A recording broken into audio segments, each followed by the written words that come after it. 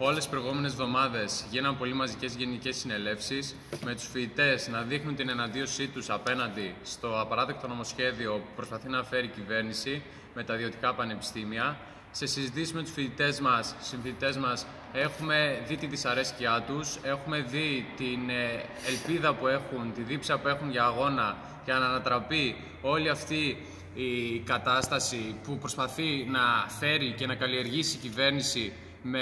ιδιωτικά πανεπιστήμια, πανεπιστήμια με ε, δίδακτρα στις σπουδές μας.